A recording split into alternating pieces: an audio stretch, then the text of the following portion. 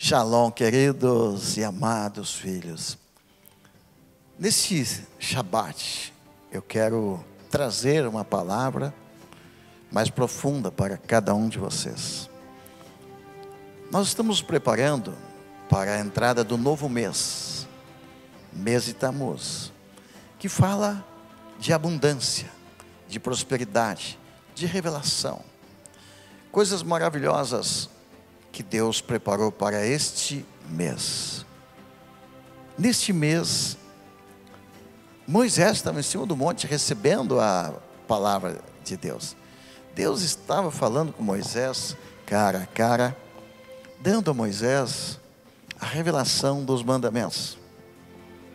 Enquanto isso, o povo estava lá, embaixo, e eles cometeram um pecado terrível. Eles colocaram e construíram um bezerro de ouro. Sabe que foi o pior de todos os pecados que Deus é, presenciou, porque os homens trocaram Deus pelo bezerro de ouro. Então, nesse dia, Deus ficou extremamente irado. E aí então Deus quis destruir o povo de Israel. Foi terrível. Quando Moisés desceu do monte, estava todo o povo em orgia. Eles dançavam ao redor daquele bezerro e se prostituíam e faziam todo tipo de pecados ao redor daquele bezerro de ouro. Então Deus disse para Moisés: Moisés, sai da frente, eu vou destruir esse povo.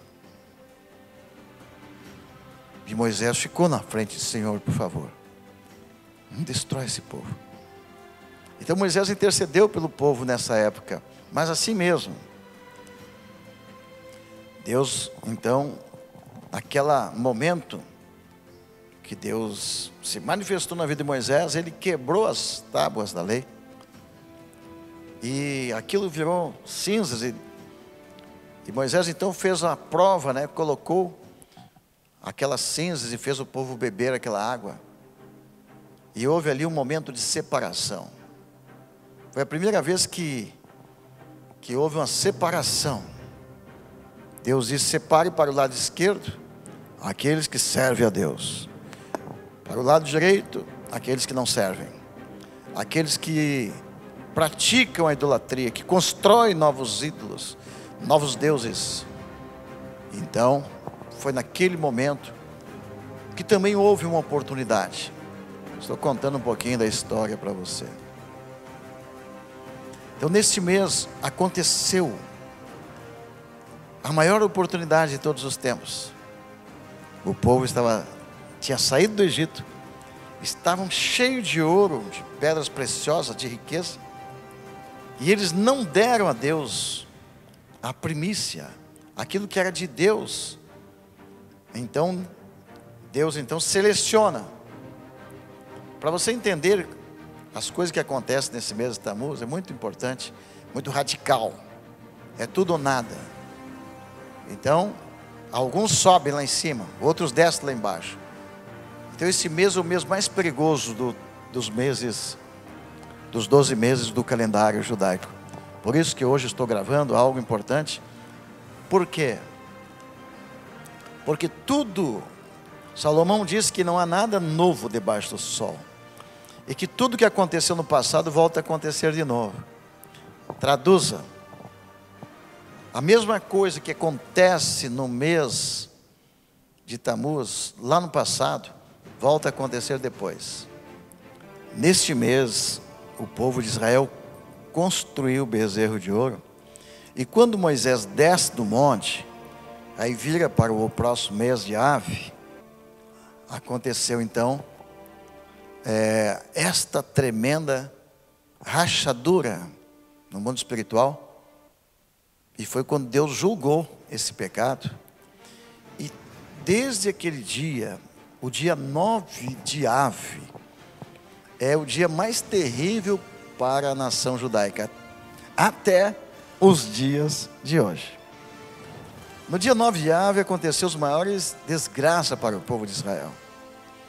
Inclusive, os dois templos foram destruídos no dia 9 de Ave. Então, por que, que eu estou falando disso, dia 9 de Ave? Porque foi nesse, no mês de Tammuz, que é o mês que estamos vivendo agora, é que eles cometeram o pecado da construção do bezerro de ouro. E quando chega no dia 9 de Ave, foi o julgamento. Então, sempre que tem uma data abençoada, naquela data abençoada sempre se abre uma janela no céu. E quando tem uma data amaldiçoada, sempre acontece uma coisa ruim naquela data. Então é importante que você entenda por que, que estamos estudando sobre este mês e por que, que é importante você entender o que, que Deus faz nesse tempo. Então, este mês é o mês da seleção. Quer dizer, Deus seleciona. E eu quero falar com todo o nosso povo, os nossos queridos que frequentam nosso, a nossa escola profética, o nosso ministério, dias atrás. Deus falou comigo. Digo um dia, um tempo atrás, eu comecei a ficar preocupado que Deus mandou fazer uma seleção no nosso ministério. E eu chamei todos os casais e as famílias e disse: hoje vocês têm que resolver. Ou fiquem todos com Deus, ou então todos em casa. Deus não quer mais que haja essa desunião. Deus quer unidade.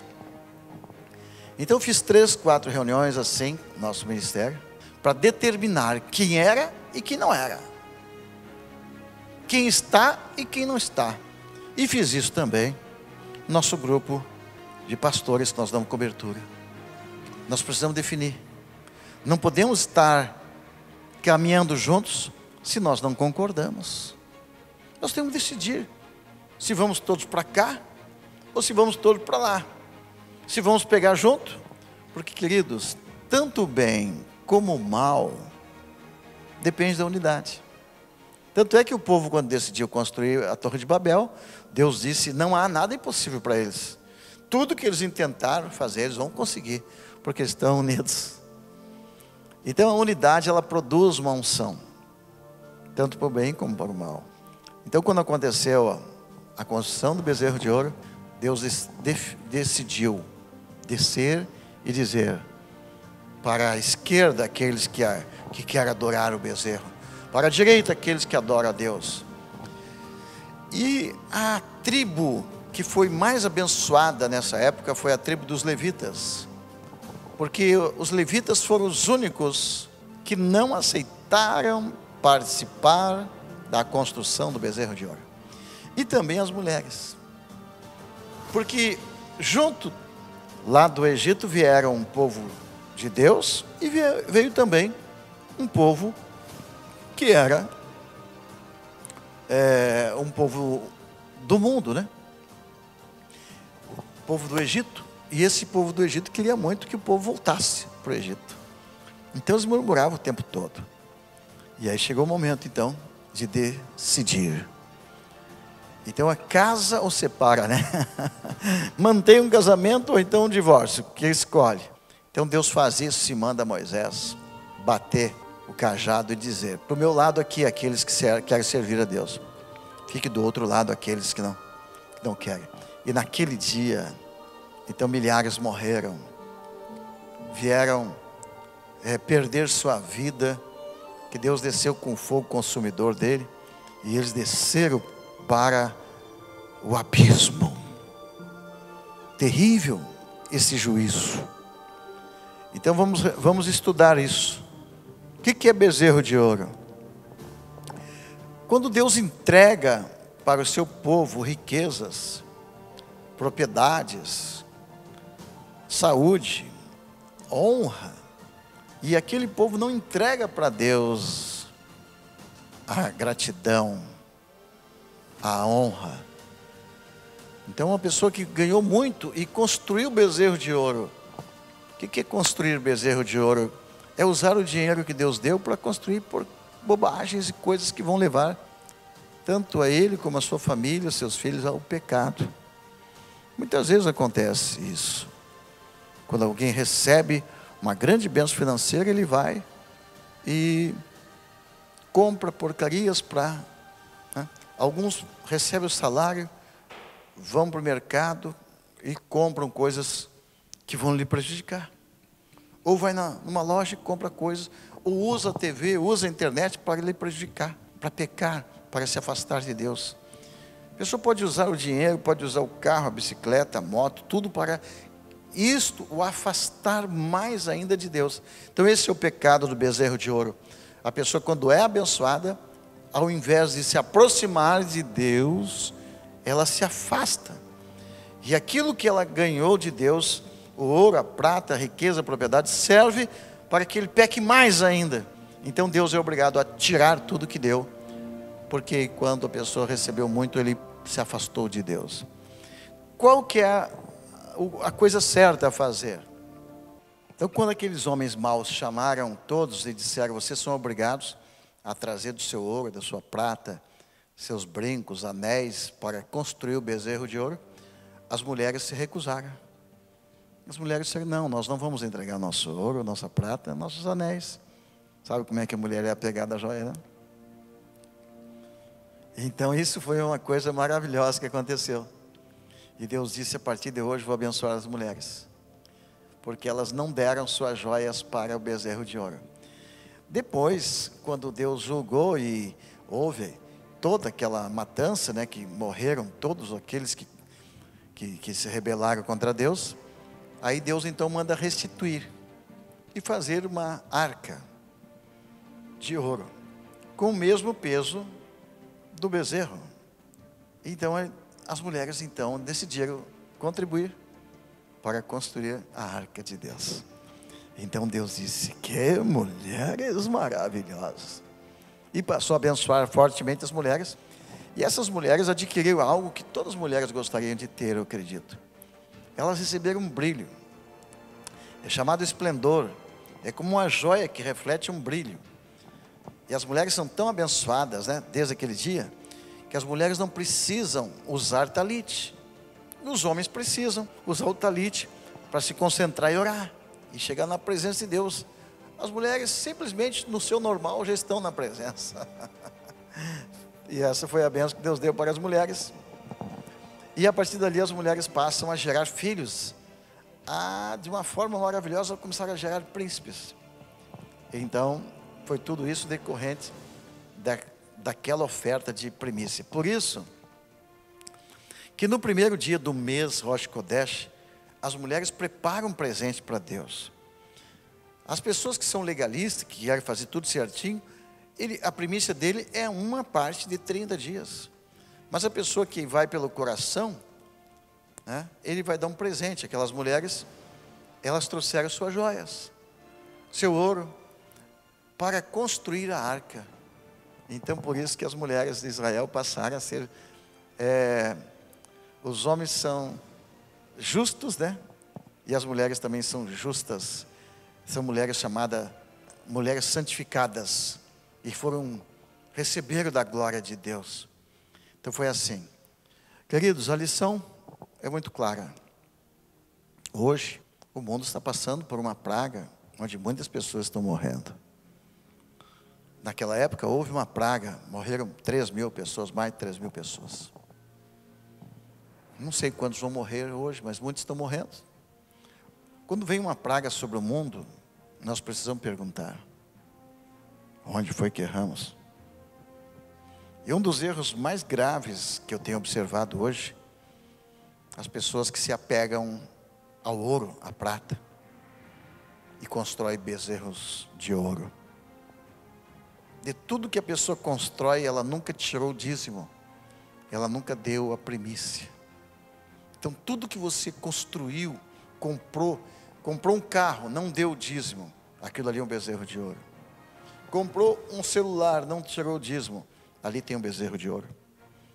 Comprou propriedade, gastou, fez festa, correu, viajou, tudo que você fez com o dinheiro, sem dar a primícia para Deus, aquilo, aquilo ali é a pontinha da sementinha que vai gerar um bezerro de ouro na sua vida. E de repente, vem um juízo e a pessoa perde até a vida. Então, esse juízo do bezerro de ouro é terrível, lá no mês de Tamuz. Mas eu vou terminar com a parte positiva. Os levitas. Os levitas encontraram uma oportunidade nessa época. Quem são os levitas? São os filhos de Levi, da tribo de Levi. Mas eles se tornaram sacerdotes nessa época. Pergunte por quê. Antes, quem eram os sacerdotes? Eram os primogênitos. Todo primogênito deveria ser selecionado para exercer o sacerdócio. Mas no pecado do bezerro de ouro, os primogênitos também estavam envolvidos. Então Deus levanta uma equipe. Os levitas não se contaminaram com o bezerro, se recusaram. Eu não vou participar disso. Então eles honraram a Deus e Deus honrou a eles. E eles foram ungidos para entrar na presença de Deus e interceder pelo povo de Israel. Eles ganharam um presentão, que até hoje os primogênitos devem sentir ciúme deles, né?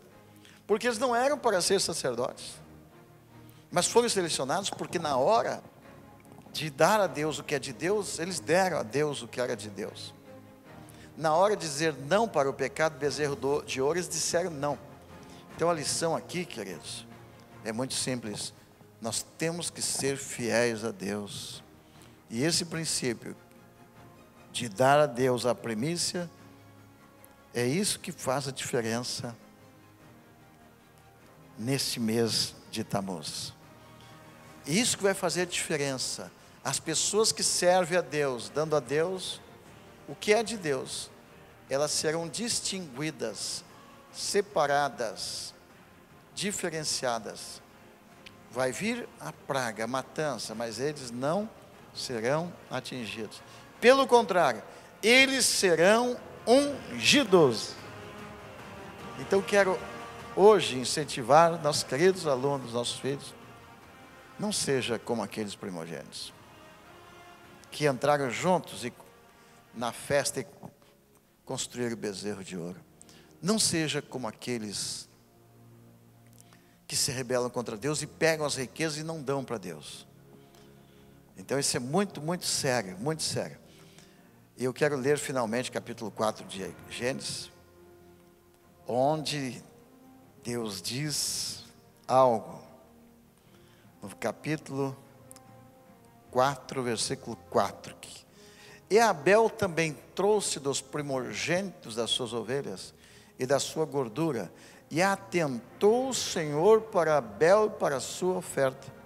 Mas para Caim, para a sua oferta, não atentou. Irou-se uh, Caim fortemente, descaiu-lhe semblante. Então aqui foi a primeira vez no mundo que Deus chama Caim e Abel, os primeiros filhos de Adão, para um culto e pediu a eles a. Então, desse mês é o mês de Tammuz, o mês que Deus separa para casar ou separar. E é nesse mês que nós devemos fazer como Abel, entregar nossa premissa. Amados, o sonho que eu tive meses atrás, Deus disse: chame o povo e diga para eles: Você já conhece Deus? Vocês já receberam presentes de Deus?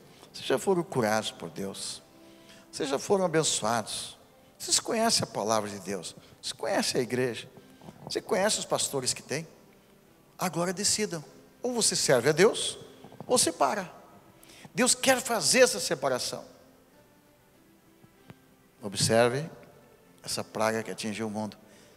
É, houve uma separação.